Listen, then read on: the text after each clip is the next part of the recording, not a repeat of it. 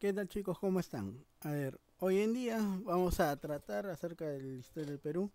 Le dije que vamos a agarrar como fuentes libros académicos, ¿no? De, para que ustedes de alguna otra manera se preparen para que puedan ingresar a la universidad, que es, el, es, la, que es la alegría no solo de sus padres, sino la alegría tanto mía como de, de los profesores que día a día están con ustedes.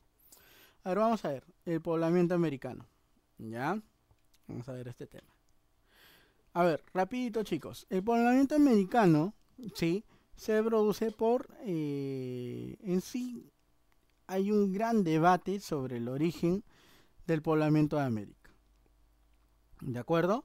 Ahora, existen diversas teorías, incluso algunas más descabelladas que otras. ¿Ya?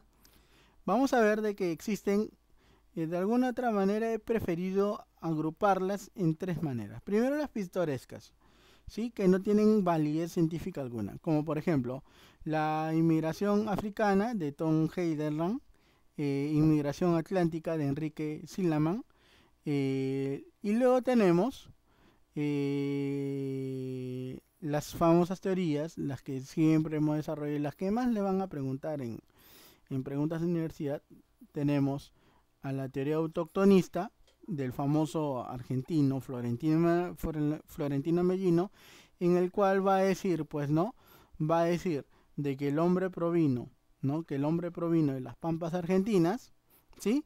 Y luego tenemos la de Antonio, la de Antonio León de Pinelo, ¿no? Que era un sacerdote jesuita.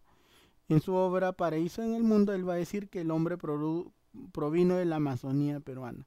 Decir la Amazonía peruana como Amazonía brasileña. Pero va a decir que el hombre vino del, vino de la Amazonía. ¿Está bien? Era un monje, un sacerdote jesuita. A ver, vamos a ver también las más aprobadas, que son las teorías inmigracionistas. Tenemos la famosa. Eh, eh, tenemos la famosa eh, teoría inmigracionista asiática por el padre José de Alcosta, que lo había dicho dos siglos antes de Alejandrica, ¿sí? Alejandrica y luego tenemos las famosas teorías australianas de Méndez Correa, ¿sí? De Méndez Correa, la famosa teoría que dice que el hombre venía de Australia, que dio un paso largo de Australia. Más adelante no voy a profundizar tanto porque eso lo vamos a trabajar punto por punto. ¿Ya? Y luego la famosa teoría oceánica de Paul River, donde el hombre dijo de que venía de la Polinesia y la Melanesia. ¿Ya? Muy bien, ahora sí, vamos a continuar. A ver, vamos a ver las principales rutas de migración de América. Miren, miren chicos, algunos van a decir que el hombre surge de América. Y esa teoría fue totalmente rebatida. Luego encontramos esta ruta, mira, que viene de Asia. ¿Sí? El hombre viene de Asia. Esta es la famosa teoría asiática. Que el hombre de Asia viene hacia el norte de América y este del norte de América baja al, baja al sur. Luego tenemos la famosa teoría australiana,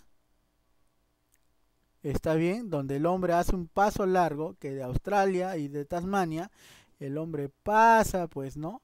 Pasa por las islas Auckland, que son islas que quedan en Nueva Zelanda, pasa por islas Auckland, luego va hacia la Antártida y la Antártida llega por Tierra del Fuego, ¿sí? Con esto, Tierra del Fuego, o sea, entre eh, entre Chile y Argentina, en tierra, llega a esa zona de Tierra del Fuego, ¿sí? por el sur, y poco a poco va subiendo.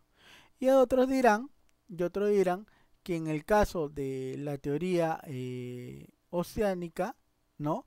que el hombre decía de la Polinesia, ¿sí? de las islas polinésicas, el hombre llega tanto al norte como llega al sur, pues, llega al sur por Chile como en la teoría melanésica, el hombre llega, mira, ve, parte de la Melanesia, de las islas de la Melanesia, y va a Centroamérica. Ahí está. Y voy a explicar cada una de ellas, chicos. Rapidito, nada más. A ver, tenemos la teoría autoctonista. Ya les había dicho que hay dos tipos de teorías. La primera es dada por el científico argentino Florentino Mellín en el siglo XIX, en el cual dice que el hombre viene de las pampas argentinas.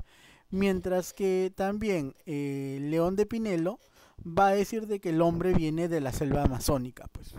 Ya va a venir tanto de la zona de Brasil como de la zona de Perú. De la selva de Perú conocido como el dente renal. Y eso se inspira en el libro Paraíso en el Nuevo Mundo de León Pinelo. ¿Ya? Ahora, lo que quiere decir que es necesario conocer eso porque te lo van a preguntar en el examen de admisión. ¿Sí? Pero esas teorías, lamentablemente, bueno, no lamentablemente, esas teorías, como son teorías, algunas tienen, es que el problema de esto es de que nosotros no podemos, no se puede afirmar ni decir el hombre vino de tal manera, no se sabe. Decir que ya el hombre vino así sería mentirte, no. ¿Sí? Simplemente hay teorías, hay postulados, hay, hay supuestos, ¿sí? Pero también esos supuestos tienen que tener cierta rigor científico, o sea, tiene que haber evidencias, tiene que haber eh, tiene que haber esto, ciertas evidencias, pues. Y una de esas evidencias es el hombre más antiguo del mundo, por ejemplo. El hombre más antiguo del mundo es el hombre de Java, ¿sí? O el hombre de Pekín, ¿no? De Beijing también. Son vestigios, los vestigios más antiguos. Entonces, entonces si es el vestigio más antiguo, necesariamente que en América tuvo que haber uno más antiguo de ellos. Entonces, como se descubrió el hombre de Beijing, el hombre de Java, entonces, es obvio pues que si son hombres antiguos que estuvieron en Asia, entonces, entonces es obvio que estas teorías fueron totalmente rebatidas. O sea, no tienen asidero científico. O sea, nada que ver. No existen y están desaprobadas totalmente, pero es necesario que lo sepan. Luego tenemos Ah, y eso es lo que acabo. Miren, los hallazgos de Florentina Mellino. Florentina Mellino va a decir que se va a apoyar en algunos cráneos, ¿ya? En algunos vestigios antiguos, pero ya les dije que esto fue rebatido, fue rebatido eh, debido a que se encontraron vestigios más antiguos, como el hombre de Java y el hombre de, eh, de Pekín. Entonces son vestigios recontra antiguos. Entonces no hay evidencia de que el hombre haya surgido en América del Sur. ¿Está bien? Ahora, según ellos dice que el hombre viene de América del Sur y fue subiendo hasta que se pasó a Asia. Eso es lo que ellos afirman.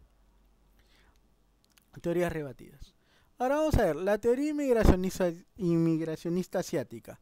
Esta teoría fue dada por Arle Harlika, ¿ya?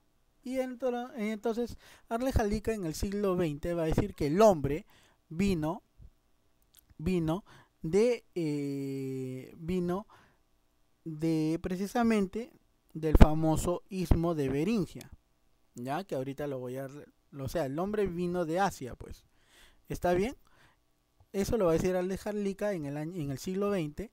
Pero también hay que reconocer que el sacerdote José de Acosta ya había dicho de que el hombre lo más probable haya venido de, eh, de Asia. Ahora se los explico acá. Miren acá, chicos.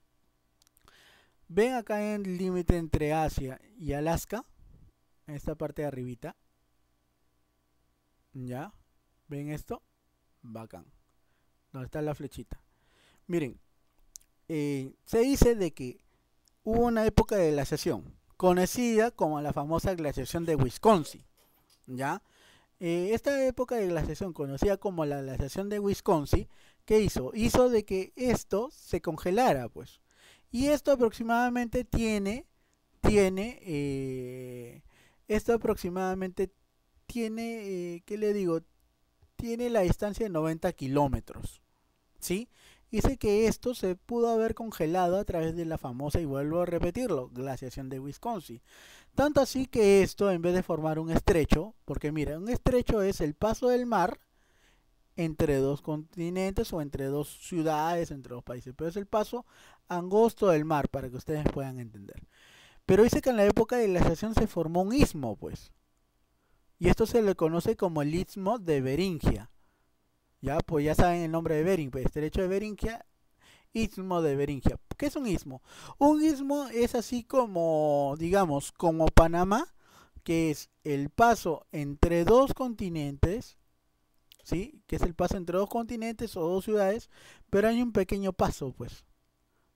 ¿Ya? Hay un pequeño paso, ya. Este paso, si esto lo tapamos, esto, este, este paso pequeño se llamaría istmo. ¿Sí? Es un paso pequeño. Es así como el paso entre América Central y América del Sur. Ya hay un paso pequeño, ya. Ese punto de unión se llama istmo.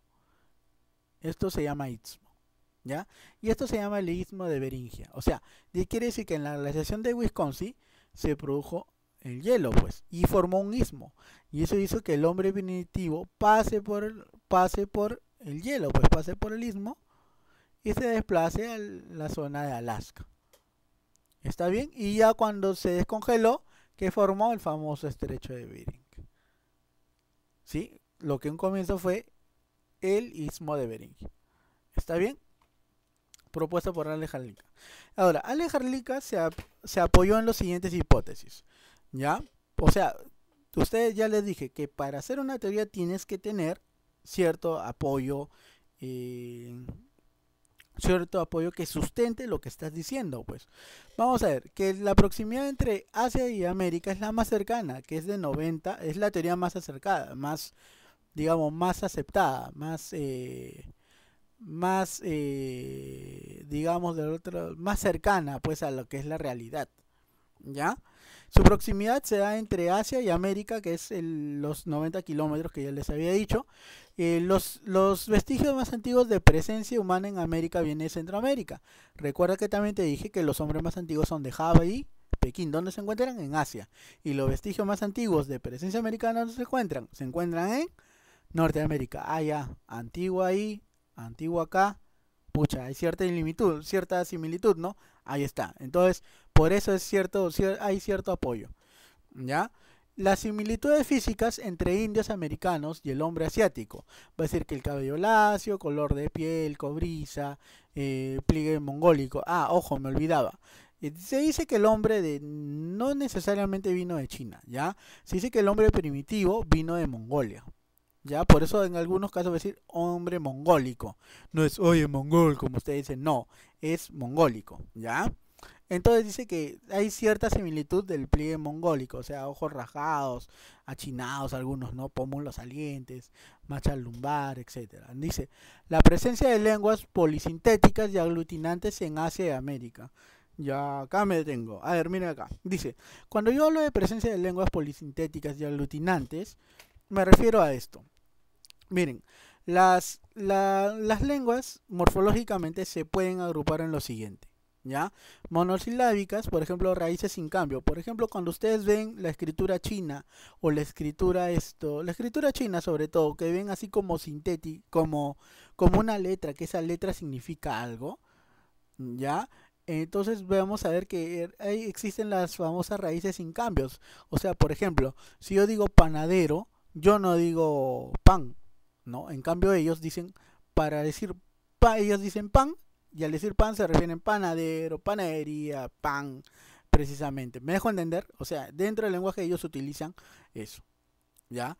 Luego tenemos, a diferencia de nosotros que nosotros tenemos flexivas, ¿sí? Que nosotros tenemos ciertas relaciones con proposiciones, por ejemplo, el caballo, el cameño, o sea, el idioma de nosotros tiene una serie de variantes, pero estos no. Las monosilábicas no tiene variantes. Y las aglutinantes es la juxtaposición de palabras. O sea, que yo, ¿qué hago con la juxtaposición de palabras? Que en vez de unir las palabras, o sea, en vez de formar eh, la mamá de Juan, ¿no? Entonces que digo, mamá, coma, Juan. ¿Me dejo entender? Esa es juxtaposición. Yo es lo que sé. Mamá, Juan. Entonces, ah, ya la mamá de Juan. ¿Me dejo entender? Entonces, eso va, esas son lenguas aglutinantes. Pues, hago ese paréntesis para aquellos que no saben qué es lenguas monosilábicas y aglutinantes. O sea, decir que de alguna otra manera ya se manejaba o había cierta relación de, de lenguas, pues, ¿no?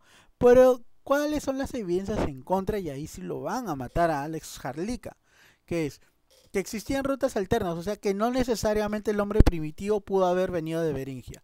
Algunos va a decir que va a venir de las, islas Auletianas, que están cerca a China. Aquí están, ven acá. Las islas Auletianas, ven acá esta segunda flecha. Y la última dice que es de la isla o la corriente del Kuroshima. Del Kuroshima, perdón. La corriente del Kuroshima es la corriente del mar japonés. Miren acá. Esta es la corriente del Kuroshima. O sea que no solamente pasó por el estrecho de Bering, sino que probablemente pudo haber pasado por las líneas voltianas y la corriente del Kuroshima. Luego también tenemos la diferencia racial. O sea, en la vida nosotros nos parecemos a los chinos, pues. ¿Me dejo entender? O sea, nuestra, nuestro biotopo, o sea, nuestro biotipo, perdón, biotopo es la Tierra, nuestro biotipo, nuestra, nuestra forma, nuestra contextura, para nada se relaciona con los, con los asiáticos, ¿no? Pese a que la evolución ha, sido paulatina, ¿ya? Dice que en América no existen ni lenguas eh, polisintéticas ni aglutinantes como la firma Harlica. Eso también se le rebaten algunos esto, historiadores, ¿no? Algunos eh, antropólogos le, rebaten eso Harlica. ¿Ya? Que en América no existe, como él dice, lenguas aglutinantes. No, no existe eso. No existe. Pero probablemente se puede rebatir porque, bueno, pues no, han, cambiado las cosas, se han cambiado las cosas, producto de la evolución, todo ello. Pero hay una gran diferencia y acá creo que ya con esto ya mancó ya la teoría de la Jarlica. ¿Saben cuál, chicos? ¿Cuál? A pesar de ser la más cercana, es la que tiene, la que hasta ahora no responde, no responde ninguna alternativa. O sea, no responde absolutamente nada. Y todos sus detractores de se apoyan acá en los tipos de sangre. Y acá me detengo, chicos. Cuando ustedes saquen su análisis de sangre, ¿sí? Ustedes cuando sacan su análisis de sangre, eh, cuando ustedes sacan su análisis de sangre, generalmente, generalmente nuestro tipo de sangre es el O. ¿Ya? Es el O positivo. Es el O. Entonces, dice, ah, tipo de sangre O, pucha, es la mayoría. Es muy raro encontrar sangre A, B, A, ¿no? es, es muy difícil encontrar el AB. ¿Ya? Pero lo que ocurre es lo siguiente, que en, en, América nuestro tipo de sangre predominante es la A, es la O. Pero el tipo de sangre predominante de los asiáticos, ¿saben cuál es? AB. ¿Ah? Entonces, es por eso que la teoría de Harlica no es tan no es, digamos, pucha, se acerca a la realidad, pero no es tanto así. ¿Me dejo entender? Y de eso sus detractores se agarran, pues. Se agarran en, vista de que no, pues que no, que no, no, no hay algo que no concuerda, ¿no? Si bien es cierto, podemos cambiar, pues, parentero, eh, parentesco, caracteres, pero tipo de sangre. Entonces es ahí, e, es, es la, ahí es el problema. En el tipo de sangre y es el más importante evidencia en contra en la cual no se puede, pues no se puede simplemente determinar si el hombre vino o no, aunque es la teoría más cercana. ¿Ya? luego tenemos la famosa teoría inmigracionista oceánica. Tenemos a Paul Rivet, que dice que el hombre vino de la Melanesia, ¿sí? Que vino de la Melanesia hacia América Central y luego vino de las islas de la Polinesia, ¿sí? De la Polinesia y vino hasta América del Sur ya ambas dadas por Paul River, por eso dice oceánica, que vino de Oceanía, vino de la isla de la Melanesia y la Polinesia. ¿Y en qué se va a apoyar? Se va a apoyar en las características antropológicas, ya, en las culturales, ¿no? Como la Goa Santa, porque él va a decir que la Melanesia, ¿sí? Se va a formar esto, es que han encontrado parecidos de que de la Melanesia se han encontrado vestigios parecidos en Brasil.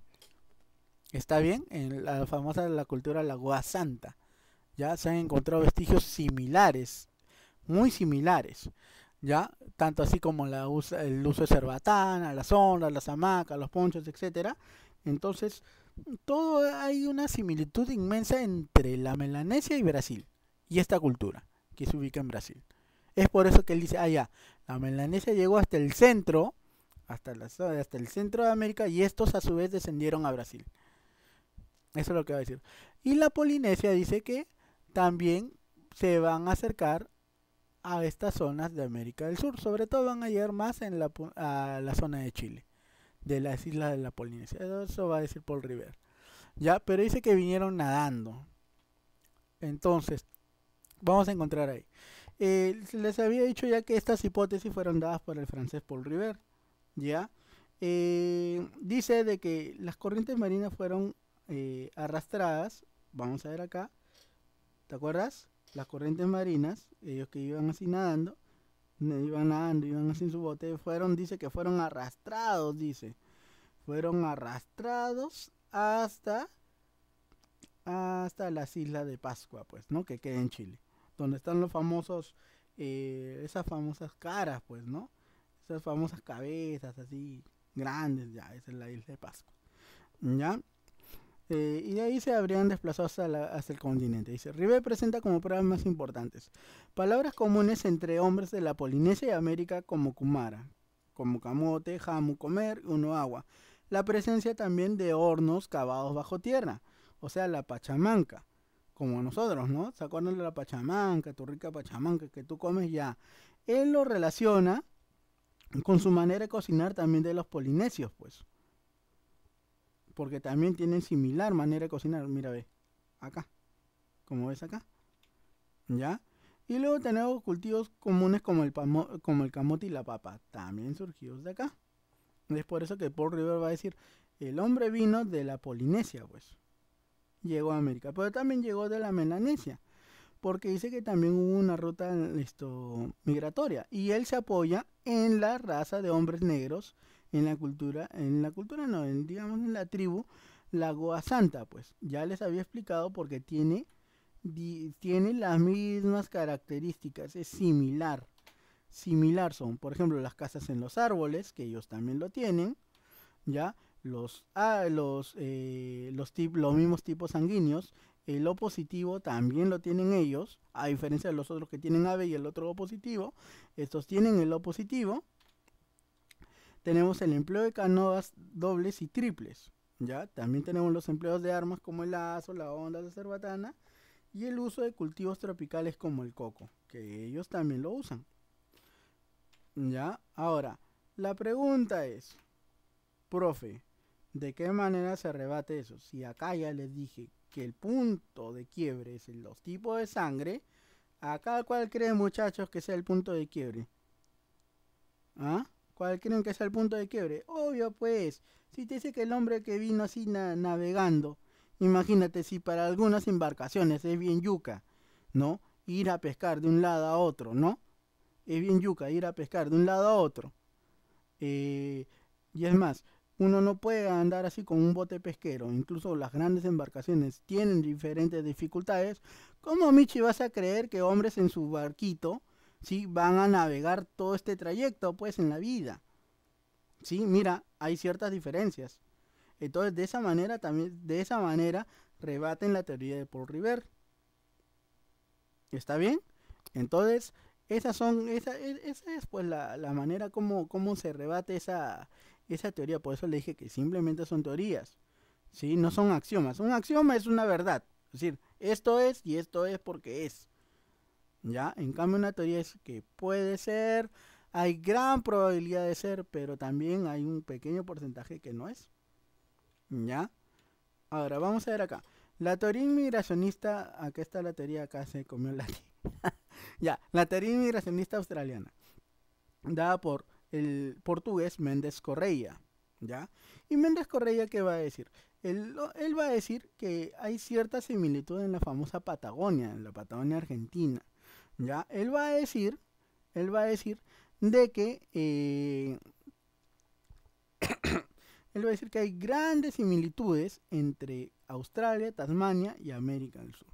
Y él va a decir, y él va a decir de que el hombre primitivo vino desde Australia, desde Australia, pasó por la Antártida, pasó por la Antártida, o sea, mira, de Australia pasó de Australia y Tasmania, pasó por Nueva Zelanda, primero te voy a decir, ¿ya? Luego pasó por la Antártida y de la Antártida llegó a la famosa Patagonia. ¿Ya? Llegó a la famosa Patagonia Argentina. O sea que llegó por el sur. ¿No? A través de la esto que llegaron a través de embarcaciones. ¿Ya? que fueron tanto y hay las similitudes es de que hay tanto similitudes culturales como las mantas de piel las chozas, mira las chozas como son, ¿ya? Y los famosos boomerang, que eso también se encontró en la Patagonia Argentina. Sí, hay bastante similitud. Ya tenemos la famosa evidencia antropológica, que son las similitudes físicas. ¿Está bien?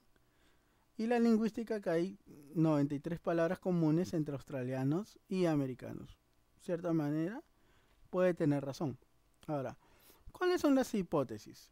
A ver, él va a decir, él va a decir que los él se va a apoyar, bueno, como todos se burlaron de Jarlica diciendo de que, ah, ya, es el más cercano, pero ¿qué pasa? Que el tipo de sangre, uno era O y el otro era B, entonces, ¿qué, qué, qué, qué pareció ahí? Entonces él, por rebatir la teoría de Jarlica, que va a decir, ah, ya, ya encontré un lugar donde en América son O y hay otro lugar donde también todos son O, y eso es Australia. Entonces va a decir, primero el tipo de sangre, para que no a mí no me estén fregando así como fregan a Jarlica. El tipo de sangre, primero se va a apoyar de eso.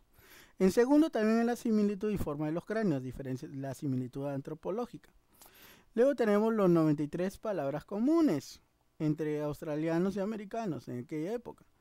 Luego tenemos, luego tenemos el empleo de las armas arrojadizas como el boomerang, también que acá se los he explicado, y la construcción de, chozas en forma de colmena, como estas chocitas que ven acá.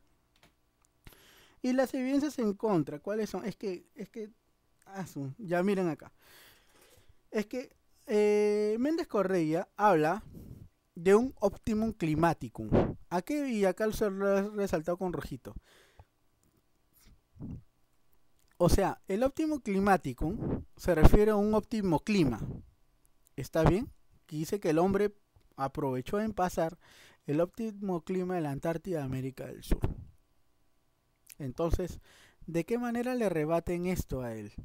Le dice, pero ¿cómo es posible que hayan hecho una navegación tan, tan amplia desde Australia hasta América del Sur? Y encima todavía aprovechar un buen clima en la Antártida para andar en América del Sur, si nosotros hoy en día no podemos ni andar en la Antártida, salvo solamente en épocas de verano, y eso todavía están instalados en una base, ¿tú crees que el hombre primitivo pudo haber recorrido todo esto solo con la accidentada geografía que hasta ahora nosotros no podemos avanzar porque eso sí tienes que saberlo. El Antártida, hasta ahora el hombre no lo conoce plenamente, ¿ah? ¿Está bien? Hasta ahora el hombre no lo conoce plenamente, no ha recorrido toda la Antártida. Hay zonas inhóspitas en las cuales aún no ha llegado el hombre, ¿ah? No ha llegado el hombre a la Antártida.